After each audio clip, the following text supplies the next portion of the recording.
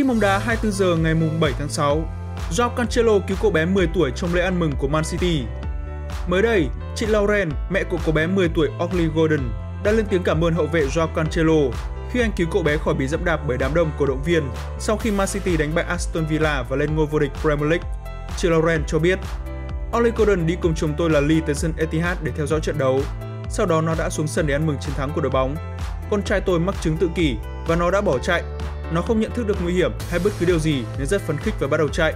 Lee chạy rất nhanh nhưng không đuổi được Ollie. Cancelo tiến về phía con trai tôi và bảo vệ nó. Cậu ấy kéo con tôi vào, ôm Ollie như một chú gấu, hôn lên đỉnh đầu và đẩy mọi người ra xa để giữ an toàn cho con trai tôi. Con trai tôi đã vô cùng sợ hãi, nó không thể tự đi được và phải có người giám sát. Nếu không có Cancelo, không biết điều gì sẽ xảy ra. Người đàn ông đó đang lẽ ra phải chạy xung quanh để la hét và ăn mừng chiến thắng này, nhưng thay vào đó, cậu ấy đã dành thời gian để dừng lại và chăm sóc một cậu bé từ tận đáy lòng mình, không có lời nào để cảm ơn anh ấy vì những gì anh ấy đã làm. Bóng đá 24 giờ, sống trên đường pit.